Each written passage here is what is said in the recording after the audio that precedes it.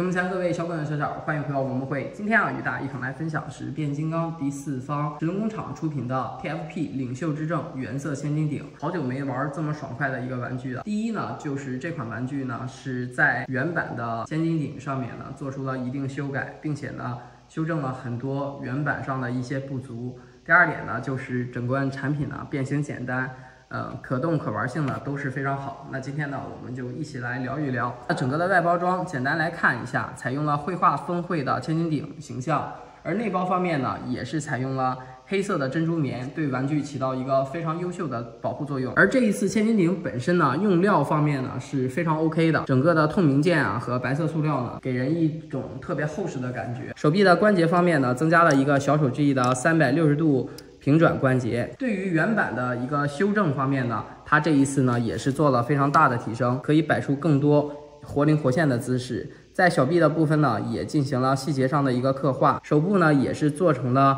两指可动，腿部呢也是这一次改良产品的一个非常大的亮点，取消了原版的球形关节，改成了轴动关节，对于整个产品的一个紧实度和把玩手感呢，也是有非常大的提升。翻到后面的部分呢，你会发现原版偷胶的部分呢，齿轮工厂的这个版本已经全部进行了填堵，也是做出了相应的一个细节刻画。呃，整体的配件呢非常非常的丰富。替换头雕方面呢，除了原配的这个。面具的千斤顶啊，引入了蟹壳工作室，更还原动画中的千斤顶，并且呢，头雕的部分呢都是采用了水蓝色透明件，眼睛透视的效果呢非常 OK。当然，这一次头雕我最喜欢的就是蟹壳做的愤怒脸型，这张脸呢真的非常具有神韵。首先呢，原配的武器呢这一次做了一个精涂装，并且与吴医生呢。合作完成了更还原设定图中的武士刀，两把武士刀呢，也可以在两侧的胸口部分进行安插。两把刀横向对比下来呢，都采用了亮银色的涂装，而吴医生这款刀呢，更还原设定中的一个效果。肩部的手炮呢，也是与吴医生进行合作完成的，手部可以进行握持，呃，在车型的形态下呢，也可以进行一个全搭载的收纳。手炮呢，旋转一下就是整个车型的一个。呃，车灯式的收纳，腰部呢也是搭载了一个与谢和工作室合作完成的动画中的手雷，嗯，手雷的细节呢也算是做的比较丰富，近的部分。呃，可以插拔出来，嗯，也可以做出还原动画中的名场面啊。那细节方面呢，我们也简单来看一下，根部呢是一个球形关节，手臂的部分得益于一个非常大的球形关节，它的旋转角度呢没有什么问题。手部呢是这一次新的一个改件，可以做出一个三百六十度无压力的活动。手掌的部分是一个球形关节，有一定的活动，并且呢在手腕的部分呢也可以适当的做出一些调整。两指有一定的可动性，得益于球形关节改成了轴关，整体的紧实度呢非常非常的舒服。后踢呢活动角度会更大一些，侧踢的活动角度呢也是做的蛮好。整个的大腿呢支持平转，紧实度呢控制的非常适中。膝关节的活动角度呢算是中规中矩。脚部的部分呢有一个向里的接地。变形的思路呢其实还是蛮简单的。首先呢，我个人习惯呢是先从手臂部分开始变形，这个车窗的部件使劲拉动，它是有一个限位锁点的，沿着这个相应的一个位置点往里再进行一个内扣，顺着拼图关节把它往里进行一个拼搭，里面呢有一个相应的锁定位点，会有一个非常明确的卡扣位。脚掌的部分贴合球形关节的部分，我们把它。向里进行一个打平，并且呢，顺着这个旋转关节，我们把整个后脚跟儿往后进行一个折动，就是这一片卡扣解锁，脚掌部分翻折到这儿，小腿的部分向里内扣，并且把整个的腿部，呃，沿着根部关节做一个旋转。这个地方呢，它是有一个锁扣位点的，呃，往前滑动的时候滑到这个地方，我个人建议呢，这个车头地方稍微错一下。把整个前车的这个地方进行一个锁定，OK，两侧的车头进行一个密合，在腰腹的这个部分有一个卡扣进行一个解锁，并且呢，头部的一个造型呢，适当的往后进行一个按压，避让出空间，这个地方翻转过来，头部呢这个地方旋转过来，拉动这个造型键，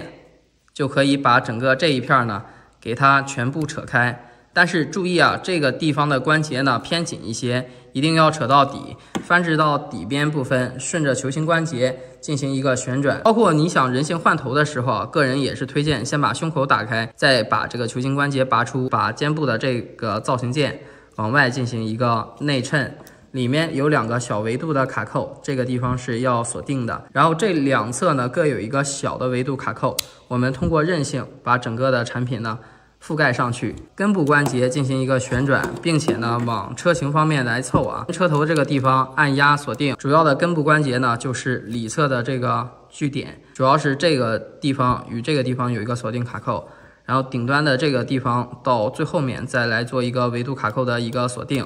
把这个重要的位置点卡扣锁定住。这个地方一定要紧按压一下，对于整个最后的密合呢有一个很重要的作用。再就是这个，嗯，该有的位置造型，适当的往里进行一个贴合。好，这时候呢你就会发现问题，哎，它这个透明件的部分为什么会有一个缝隙啊？这个缝隙呢，我之前呢是有问过这个工厂的。工厂说呢，主要的原因啊，就是，呃，原先这个球形关节啊，它的紧实度呢是比较松散的，而这一次呢，咱改成了轴动关节，所以在这个地方呢，它的这个轴呢，第一两次变形呢，它会有点偏紧。我个人呢，也是找着了一个小的方法，嗯，随便找一个这种可以起翘的东西啊，尽量不要伤害玩具啊，尤其是这个人形头部在这儿，然后把这个位置呢，按压车轮。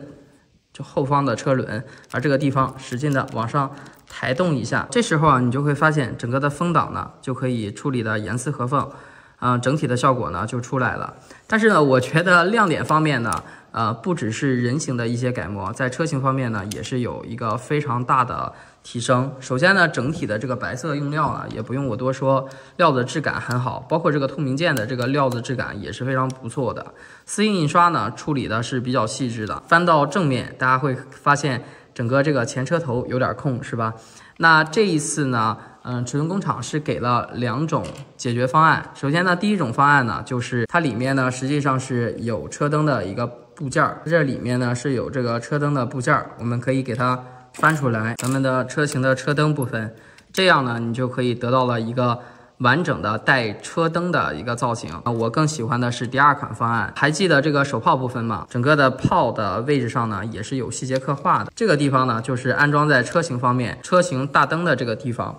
这个设计真的是比较巧妙。裆部的这个位置，我们把这个卡槽往里进行一个贴合。那这个手榴弹呢，就完全的进行一个收纳。最后呢，就是武士刀的部分啊，武士刀呢也是可以作为一个收纳。脚掌的结合位置点，包括外侧的这个沿儿的部分，它都是预留出相应的位置，你就可以发现，把整个的地方全部镶嵌上去。那整个的武器方面呢，就全部进行搭载。这个设计是我个人。非常非常得意的一个设计啊！不光人形可以全部搭载，在载具形态呢也是可以全部搭载上去。再加上呢，整个的变形体验方面呢非常简单流畅，使得整个玩具呢让我非常轻松的进行了一个解压式的变形。那今天呢就简单的去跟大家分享这款